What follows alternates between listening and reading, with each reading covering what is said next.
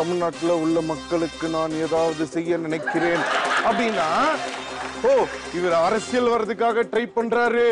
அப்படின்னு சொல் டேய் எனக்கு அரசியல் வேணாம் சினிமா வேணாம் எனக்கு எதுவுமே வேணாண்டா